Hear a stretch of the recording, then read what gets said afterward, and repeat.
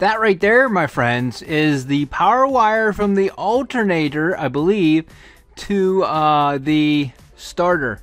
uh, I reached up in there just to see what was going on because I looked at this ground and I seen there's some corrosion and stuff up in there. So I was like, let me check the starter wires. And that one fell right off. I barely even touched it. So I need to get the battery disconnected because I think that's a power wire. And then uh, we're going to have to fix this issue. This might be our starting problem.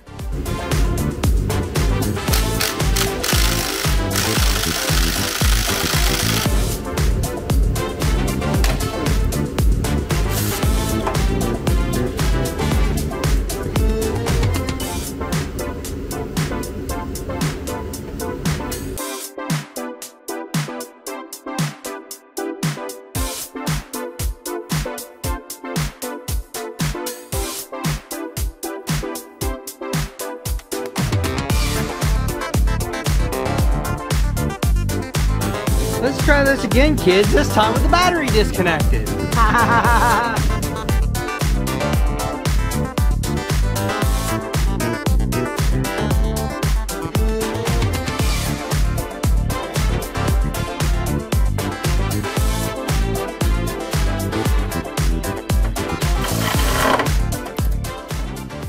oh, please, Jeebus. Jeebus, let this be the problem. Let this be the fix. Please be my problem.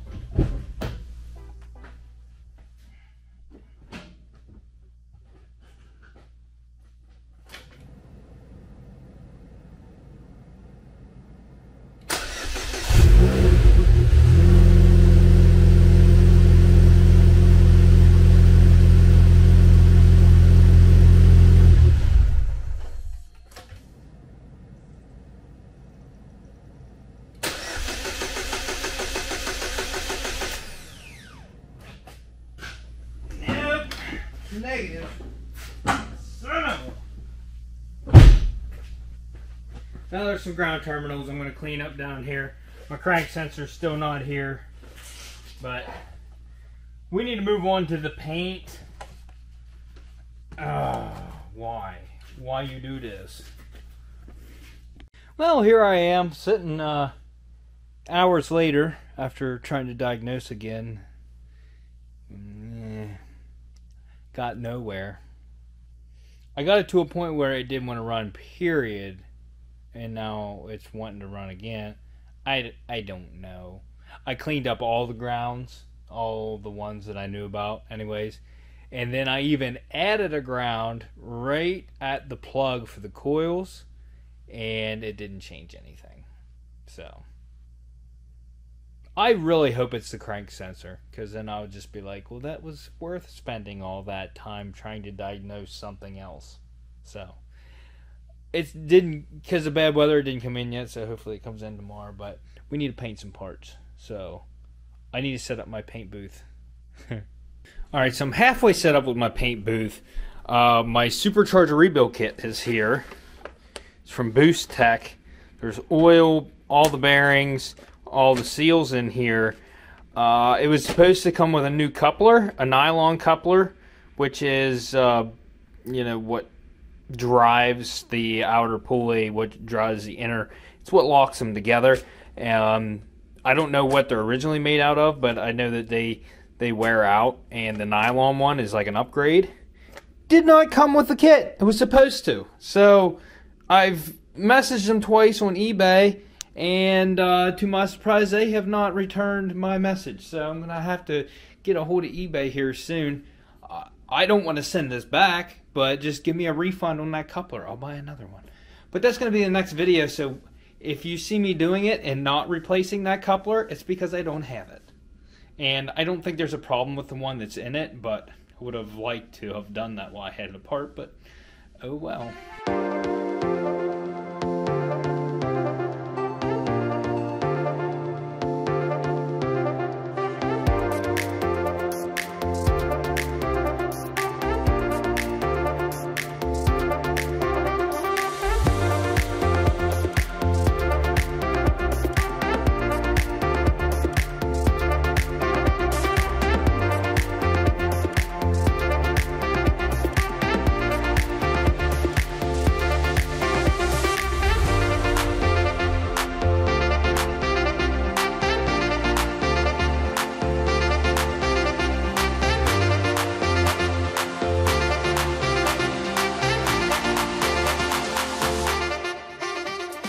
Alright, so I did basically the same setup, kind of, that I did whenever I plastic dipped the Subaru. That way to keep the gases out of the house, the, the vapors and stuff like that, and to protect my Z and everything on that side of the garage. Um, so I need to wipe that down. I'm painting that on here. But I need to wipe it down. We need to scuff it. And then I'm using uh, the sealer primer, the adhesive primer, I guess that's what it is, uh, that I use on the Malibu bumper. But this is black, so it's not to mess with the color of this since it's to be black.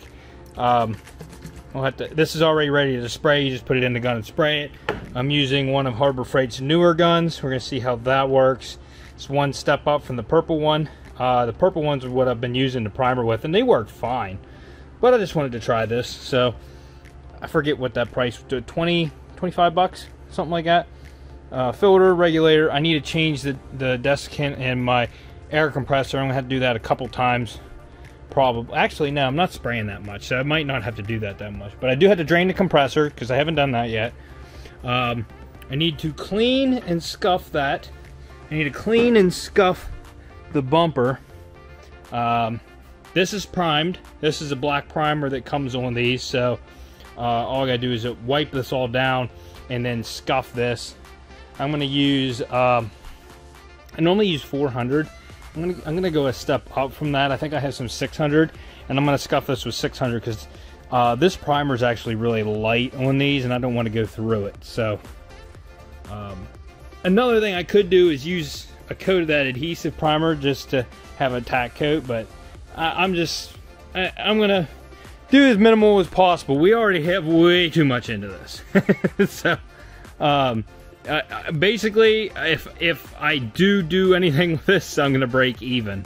Says, and I still have diagnostic stuff to do to fix the starter problem that's going on, and it's just it's a nightmare.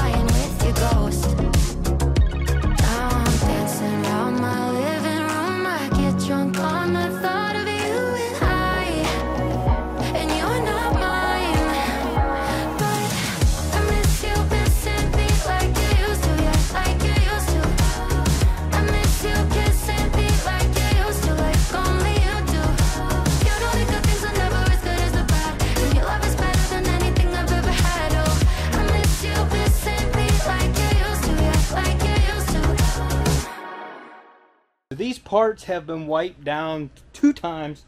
I scuffed the uh, valence here with, uh, or the ground effects, with 400 grit to get a good, you know, uh, mechanical bond with that, with the adhesive primer and stuff. So we're going to shoot that first, and then once it is, uh, you know, tacky and ready to spray over top up, then we're just going to go ahead with base coat, and we're going to do the bumper and it we're going to do three coats on each with base coat, and then I have clear coat there. Uh, we'll spray over top of that. I got it plenty warm in here. I should probably warm it up just a little bit more. I don't know, but I'll turn the heat up. and uh, I need to switch clothes and yeah, less baggier clothes. I got baggy clothes on. I, I want to do it with less baggy clothes on. I need to get my airline out. Spray the floor down with water. I got a sprayer out over here. I got to put some water in that. So let me get all of this stuff ready and get to the point where it's time to spray. And uh, in between different coats, like between the primer, the paint, and the clear coat, to give it time to, you know, set in between. I'm going to clean the guns because you should clean your gun right after you're done with it. So that's what we're going to do. We don't need much of that adhesive primer, so that's good because I only got one can and it doesn't go a long way. I did two bumpers on the Malibu and it still wasn't quite enough. So we should have enough to do that since it's just this ground effects piece. And then we'll get on to the paint.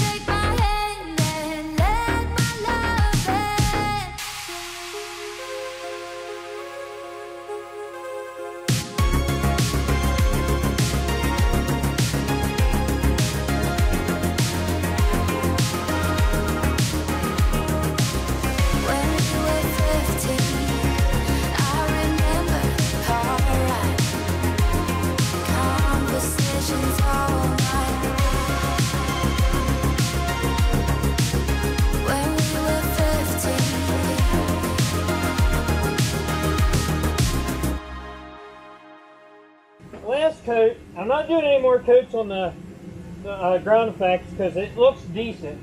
This I have a couple areas and it's a little rough, and I only have so much clear coat left, so I'm hoping to take care of those areas. All right, GoPro. All right, GoPro. All right, no more GoPro footage. So I I let this dry for a long time. I'm having problems with it drying because the temperature's not holding in here. I'm getting my furnace hooked up next week, which should fix that issue. I'm going to do the best I can, last coat, hopefully get rid of those rough areas. I'm having problems with it gassing off. It's, it's coming through, leaving little bubbles. So let's see what happens.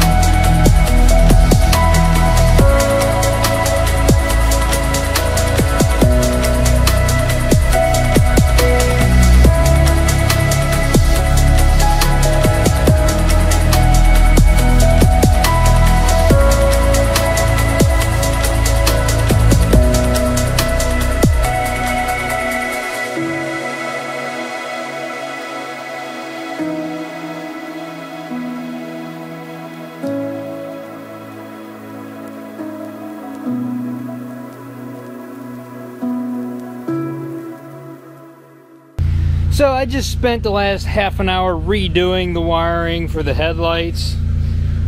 Thus why I have the original or uh, the the other cobalt wiring harness here. I I put it on there and I started it up and that headlight was dim and the, the little side markers on the sides there, both sides weren't working.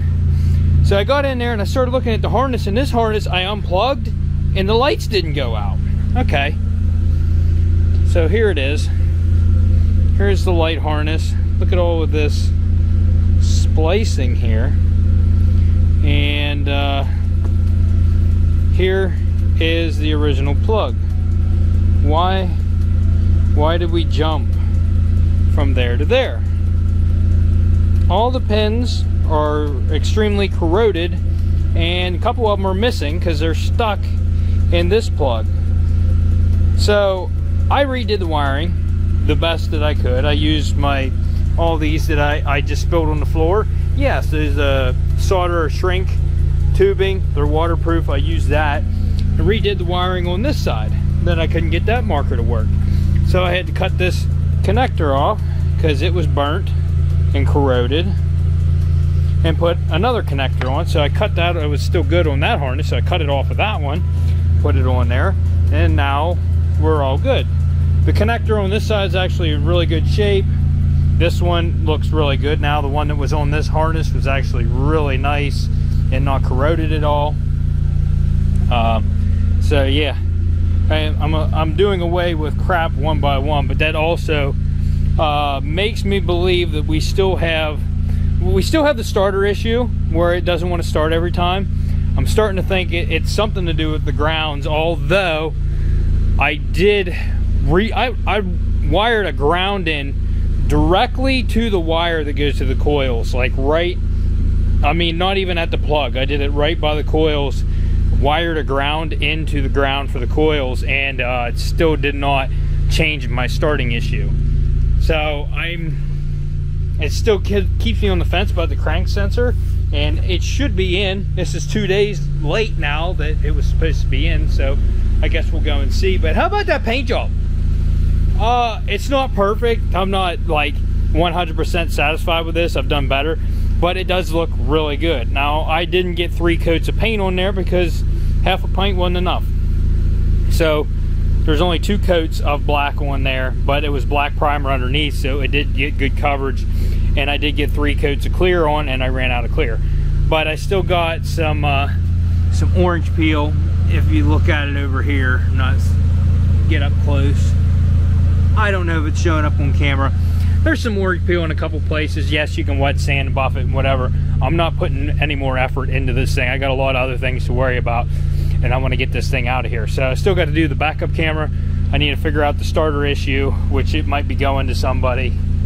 Honestly, I found a YouTuber that is very close to me that has like 97,000 subscribers. He's like 40 minutes from me. And uh, I commented on one of his videos and he actually replies and stuff. And he is a very good mechanic when it comes to electri electrical stuff and i'm not. That's my weakness. So if i can't figure it out here after long i do have a buddy i can take it to. But i thought about maybe contacting him to see if he could diagnose it for me. Pretty good. He's i mean actually he's really good. It's uh, pine hollow automotive. Uh, it's on this side of state college so uh, like it's he's pretty close to me. But i came out and this thing fired up the first time I cranked it and I shut it down to do the rewiring and it took me three more tries to get it to crank up again. So just letting it run. It's not near as smoky now because I I let it warm up the last time it started it ran and I let it get nice and warm plus I got new plugs in and right now I'm doing the same thing. It does still smell rich but there's so much in the exhaust I just I can't get it to burn off because there's been so many times I've tried to crank it and you know I messed with the clutch switch. I actually have the clutch switch out right now. I got to put it back in, but I just have a 5 amp fuse pushed in where the clutch switch goes, so I don't have to push the clutch in because I was thinking maybe we had to do something with that. That has nothing to do with it. I, I just, I don't know, but I think we're up to temperature now. Yes, 178. So up to good temperature. Headlights are nice and bright now. The fog lights work. Everything works uh, I am going to take the front bumper off because the next video, I got the supercharger rebuild kit. We're going to be rebuilding the supercharger. That's really the last major thing that I have to do on this. So uh, stay tuned for that. But on that note, it's going to be the end of this episode. So if you like this video, go ahead and smash that like button. Consider subscribing if you're not already. If you are subscribed, make sure that the bell is checked because sometimes YouTube likes to uncheck that. That way you get notifications and you know when I upload, even though it's the same time every week. But the sooner I get this monstrosity all fixed up and done, the sooner I can get on this and get this thing finished. And it's just bugging me. I just want to get it done now. Go ahead and dislike this video if your mom's plug's corroded fix it. and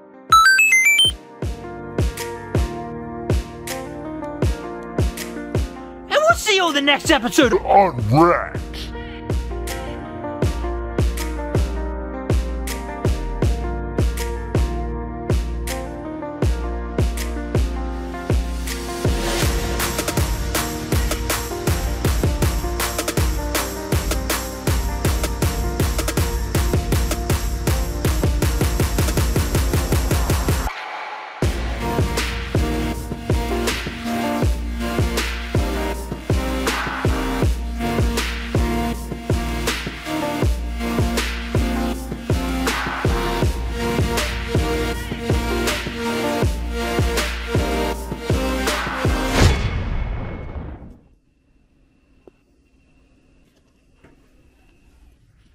What are we doing?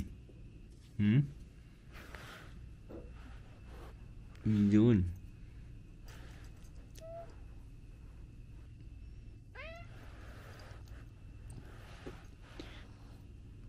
What are you doing? Why you bite me?